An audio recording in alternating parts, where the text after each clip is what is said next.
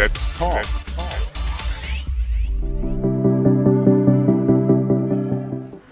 Moin Moin, eine neue Folge Let's Moin, moin. Talk. moin Moin, genau. Wir sind in unserem kleinen Wohnzimmer der großen Stadt Hamburg angekommen. Endlich mal wieder live. Klar mit Abstand, immer noch Corona-Modus, aber keinen geringeren als die Zwickbetreiber Uli, Entschuldigung, falsch, Susi und Uli Das- sein. Entschuldigung, so viel Zeit sagen. muss, muss sein, ne? Susi, oder? Erst die Frau, dann der Herr. Da, Äh, da lege immer- ich viel Wert drauf. Ja, er, Ja, ist, es er ist war so. lange in der Tanzschule, er weiß genau, dass erst das Mädel kommt und dann der Hund. Nee, dann die Frau, genau. Oder das Pferd. Weißt du? Das ist eine andere Story, da reden wir ganz später okay. drüber. Ist gut, Nina. Ihr seid noch auch im Corona-Modus ganz traurig. Ähm, es ist, die Lichter sind nur für uns heute mal angegangen, weil Ja, wir uns also einfach wir- auf der Mitte getroffen haben, so ein bisschen. Wir müssen natürlich äh, auch hier immer mal nach dem Rechten schauen, ne? weil äh, erstmal haben wir Sehnsucht, ne? der Laden fehlt uns und der andere Laden natürlich auch. Und äh, man muss ja immer mal schauen, ob nicht irgendwas ankokelt oder sowas. Ja, ja, vor allen Dingen äh, eine, sind die Leitungen alle noch nach den Frostgeschichten, alle noch heile, ein bisschen Staubwischen, ein bisschen Liebäugeln mit der guten alten Zeit, die ihr ja doch hier immer wieder verbringt. Ähm, ihr macht ganz viel Live-Musik hier, auch mit der eigenen Band. Wie fehlt euch das äh, zu performen? Na, das Einfach kannst du dir. Action zu haben. Also, Nina, weißt du, wo du sitzt? Du sitzt auf der Bühne hier im Zwick. Hier findet immer Live-Musik statt. Jeden Freitag, jeden Samstag. Bis in die tiefen Nächte. Und Open End. Open End, Ja, wirklich ja. Open End. Und das ist natürlich, was wirklich fehlt, nicht nur uns als Musiker, sondern auch unseren lieben Gästen. Und ich glaube, das fehlt ganz Deutschland und wenn man sagen darf, weltweit. Ne? Du weißt, das darf man gar nicht. Und das ist schon schwierig, weil Kultur fehlt. Ne? Deswegen, ja, haben wir auch viel schon gemacht jetzt. Wir sind nicht traurig im Bett geblieben, obwohl das stimmt nicht ganz. Erst waren wir lange im Bettchen und haben auch mal entspannen können, entschleunigt, hab das genossen, Ja. aber dann gehen die grauen Gehirnzellen an und Genau. man vermisst ja doch dieses. Also ich muss zugeben, ich habe gar nichts genossen. Du hast das Nee. nicht genossen, nicht so aller äh, Urlaub oder so ein bisschen. Nee, das nicht. Nein, nee, nein. das haben Kurz wir wirklich treten Nein, ist das, nicht das, deins. Das fehlt mir wirklich sehr hier alles. Die, ich ich brauche Action. Und äh, deswegen haben wir auch viele verschiedene Projekte weitergemacht. Sachen, die man auch darf letztendlich, ne, wie zum Beispiel äh, den Mutmach-Song, den Susi gesungen hat für Nobby, den, Mut, den Mutmachhasen. Ne, und Was, ist da, was steckt dahinter? Da sind wir jetzt mal gerade dran. Äh, Was ist der Mutmach-Song? Erklär mal, was ist die Idee dahinter gewesen? Die Idee kommt ja von Maike Bollo. Maike Bollo, die rote Rosenstar-Lady und auch Tatort und überall spielt und auch mit Jochen Busse und Hugo Egon Balder viel Theater spielt. Und sie hofft, das muss ich sagen, dass sie ab Mitte April wieder spielen dürfen. So, und sie hat natürlich auch ging es ihr natürlich auch nicht gut, wobei diesen Hasen gibt es schon länger. Sie hat eine tolle Bücher geschrieben, die auch wirklich super Kinderbücher. Kinderbücher, die gut Kinderbücher, ankommen. über den Hasen. Genau, der Hase ist der, die Hauptfigur, so ein kleiner Supermann, Mhm. der Menschen hilft, Mut. Er bringt Glück, er bringt Mut. Er hat eine Tasche auf dem Bauch. Ja. ne, Und äh, das war ursprünglich mal für ein krebskrankes Kind gedacht. Genau. Ne, und das Ja. konnte ein, auf einen Zettel seine Sorgen äh, schreiben, ne, wenn, wenn, wenn sie zur äh, Therapie gegangen Ja. ist ne, oder Bestrahlung. Ne, rein in de, das Täschchen von dem Hasen und wenn es zurückkam, waren die Sorgen weg. Oder ein bisschen Zettel. gelindert. Ne? Nein, also Zumindest- es hat, hat geholfen teilweise. Ja, Hilfe, genau. Und dazu habt ihr den Song geschrieben oder Ja. habt ihr das in der Dreier-Kombo gemacht? also sie hat, sie hat uns Sie hatte den Song schon lange. Im Ah, Ja, und hat nie brodelte jemand in ihr. gefunden, Genau. der, wo es wo es passte von der Chemie her. Ja. Ne, und ich habe es produziert, Susi hat gesungen, hat die Stimme gegeben und unsere Musiker haben das auch mit mir zusammen eingespielt. Ja. Und es so ist, dann toll doch wieder Action entstanden. Ja. Genau. Und ihr habt das auch, äh, äh, da hat man ja gesehen, in der Zeitung auch promotet. Ja. Es ging also schon viral, sagen Es wir mal so. es Es, ist schon eine schöne Sache, Ja. die dahinter steckt, es auch weiterzutragen und weiter zu fördern. Aber das ja nicht genug, ne? Das ist Ihr nicht- seid ja nun mal nicht ohne Grund Kizianer, ne? Nee, wir sind Kizianer, ne? So, ja, das ist richtig. Wenn man Guck sich mal. das hier alles so anguckt, das ist ja auch ganz speziell nur für die Künstler gemacht. Ja. Da habt ihr euch mit dem Magazin Oxmox, Klaus Genau. Schulz, zusammengetan. Und Roxy Schulz. Und Roxy. Ja. Und habt das hier ins Leben gerufen. Da steckt ein Verein dahinter. Was macht ihr, was steckt da für ein Verein hinter? Erklär Ja, mal. dieser Verein, den haben wir gegründet. Also wir sind Gründungsmitglieder. Äh, Susi ist auch zweite Vorsitzende. Und äh, viele von unseren Kollegen sind in dem Verein, also die Betreiber von der Großen Freiheit 36, vom DOCS, äh, Tim Becker, dem auch diese Landgang Brauerei gehört. Ja. Und äh, der hat also, glaube ich, zehn Läden auf dem Kiez. Ne? Kalle Schwensen ist dabei. Ja, der ist Udo ja auch zu Lindenberg sehen. unterstützt. Der hat auch sein Ja. eigenes Etikett. Ne? Ich Genau. glaube, hier ganz links steht. Udo Kalle. hat es selbst, er ist der Einzige, der es selbst gezeichnet hat. Ja, Wir- für uns hat das äh, Bernhard Prinz, Oh ein ja. sehr guter Freund von uns aus München, einer der besten Karikaturisten, die ich überhaupt kenne. Hat viel Der gemacht. hat das gemalt, ne? Ja. also Hugo, Susi und mich. Und, Und- das ist eine schöne Sache. und Jutta Weinhold nicht zu Jutta vergessen. Weinhold, Genau. ja. Und es gehen äh, tatsächlich zwei Euro pro äh, Sixpack gehen an den Verein. Also das kann man hier überall nur auf dem Kiez kaufen oder finde ich das irgendwann auch im Supermarkt? bei- es ist ja noch sehr frisch. Ja. Es muss Ja. ja auch noch ein bisschen rumsprechen.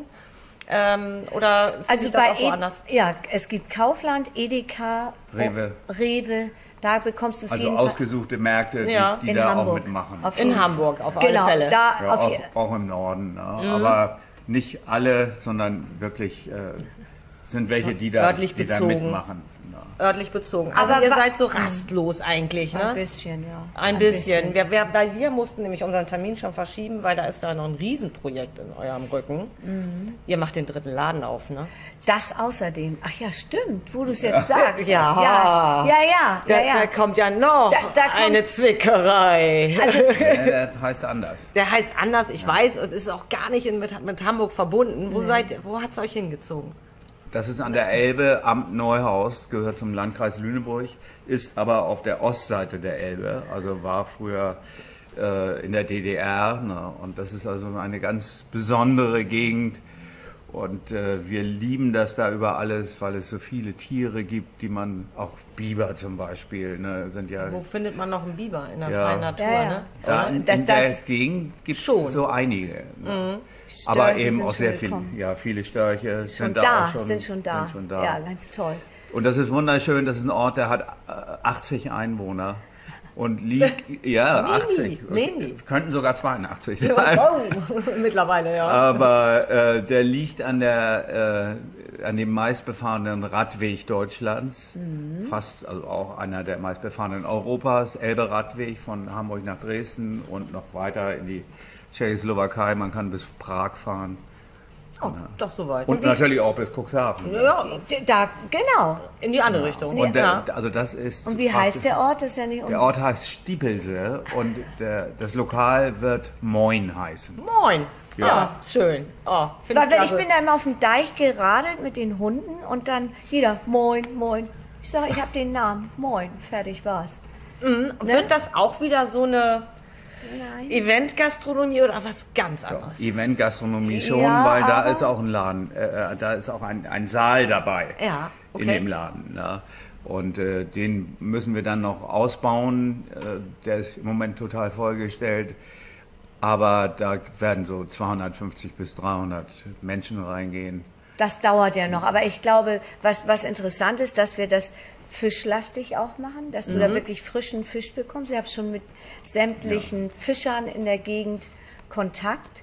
Und das, glaube ich, ist das Interessante, dass du wirklich frischen Fisch kriegst, den ich auch selber räuchern mit natürlich unseren Köchen zusammen. Ja, und habt ihr da schon äh, Ideen, was, äh, also ganz fischlastig oder gibt es auch den ein oder anderen Burger? Na klar, gibt es Ja, ihr denn. seid ja berühmt für eure Burger, also Da- äh, da- genau. die Die möchte man ja nicht, auch. nicht Auch die. Spare Ribs wird es Spare geben. Aber auch, ich setze mich durch, auch vegetarische Sachen. Und zwar nicht nur so zwei kleine Sachen, sondern wirklich auch eine wirklich niedliche Karte vegetarisch. Da freue ich mich auch. Also so ein richtiges Ausflugsziel. Ja. Ähm, Es ist wunderschön einfach da. Es ist für mich hat das eine richtig magische Ausstrahlung.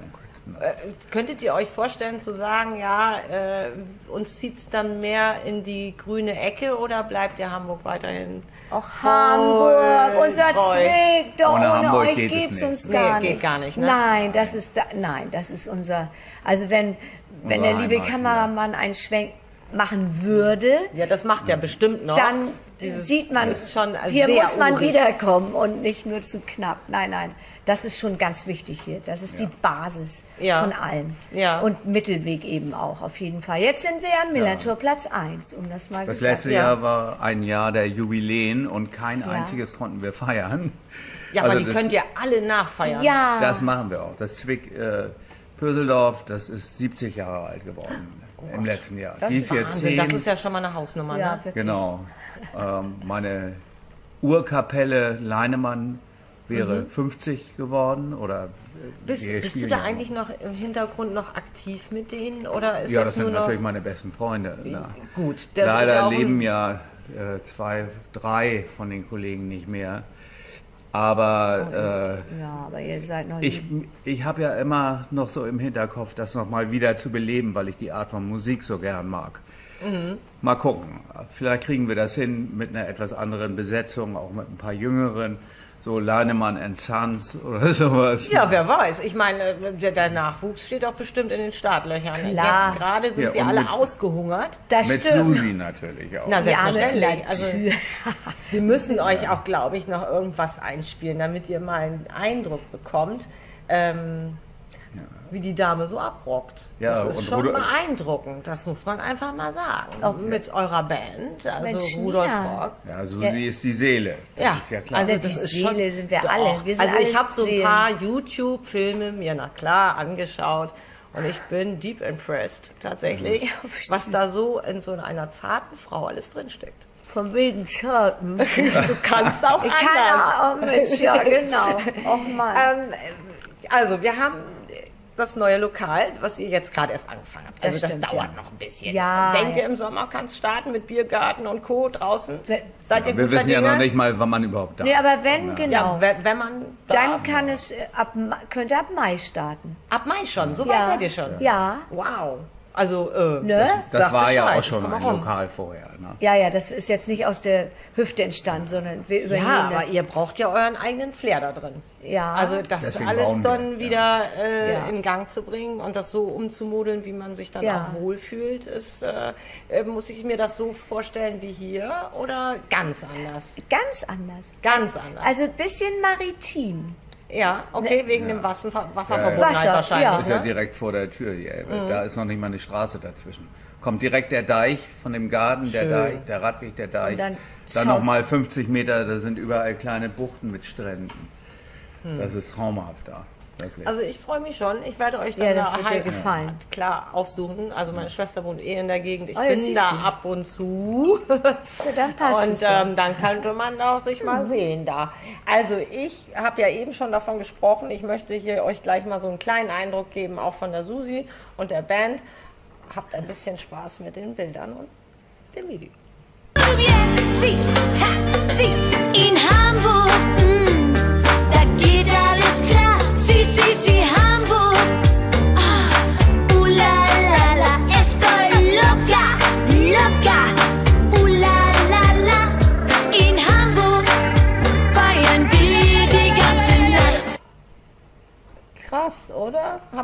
Zu viel versprochen? Ist das eine Rockröhre?